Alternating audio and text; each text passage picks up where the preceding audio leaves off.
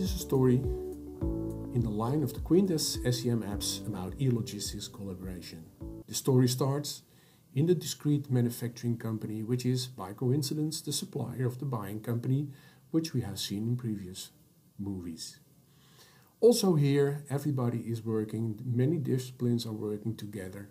Manufacturing and logistics and finance are all working on the Tradeshift platform, which also contains many other functionality like financials, human resources, customers, all working on the Tradeshift platform. But let's concentrate on logistics this time. The logistics material handler, his job is to um, dispatch all the materials from his environment to the buying companies. So his task is to generate shipments and communicate their info to the customers for all order lines which are due in that period. So he logs in to the Tradeshift platform and operates from that moment on the platform with the e-logistics app.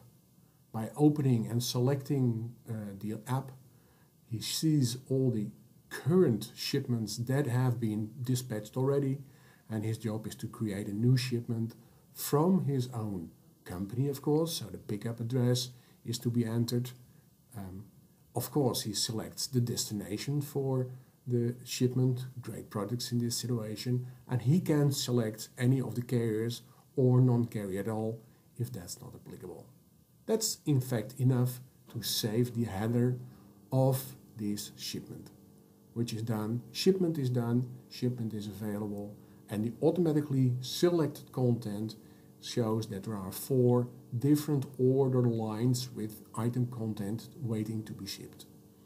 He checks if everything is okay, the ordered quantity is indeed available, so he can use the pre-populated information on the shipped quantity to select what he's going to ship. Uh, system also dictates what kind of packaging type is required and because the system also knows how many of the items are in a box, the system can also pre-populate the number of packaging items in the boxes. Means that we are sending a content of four different items, but they are packed in six different boxes as we can see automatically generated in the next screen. The packaging has each and every, for each and every different box had gone his own um, pack ID and we also know that certain of those pack IDs, certain of those handling units need to be packed together on a pallet.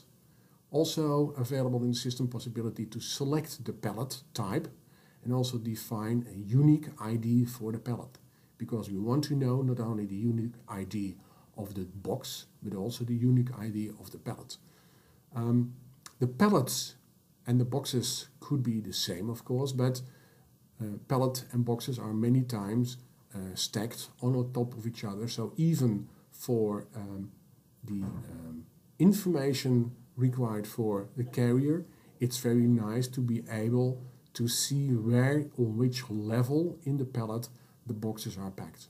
That's all the information that we need to add to the pack and stack option. So all information ready now in the shipment to be announced to the supplier, to the buyer by adding this uh, by uh, uh, pressing the announce button, the order is announced and everything, the shipment is announced and everything is ready for the next step, which is handling the documents. The eLogistics apps gives you the possibility to automatically generate pallet labels, which are, of course, to be printed from the system and applied by the supplier on the different boxes. And they those labels contain all the information required both in readable and in scannable information used at goods receiving at a later moment. Also, the handling units, the boxes, are printed from here, having the same information, also now specifying what kind of items there are in the boxes, so that at goods receiving at the buyer location, it's very easy to process all those boxes all this information, including the information which is visible on the manifest, which is in fact the shipment uh, document itself, is available in electronic format in the ASN message, which is generated by the system and sent automatically to the buyer so that after announcement um, he knows exactly what what data he's going to uh, uh, receive, what material he's going to receive, and how process that in his inbound checking processes.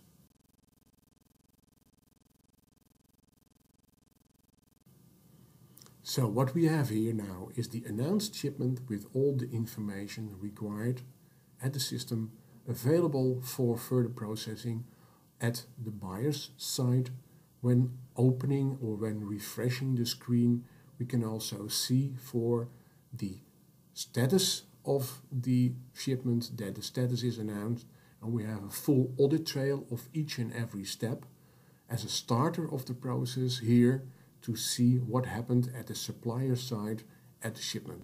The ASN is generated and sent to the buying organization to prep the goods receiving process.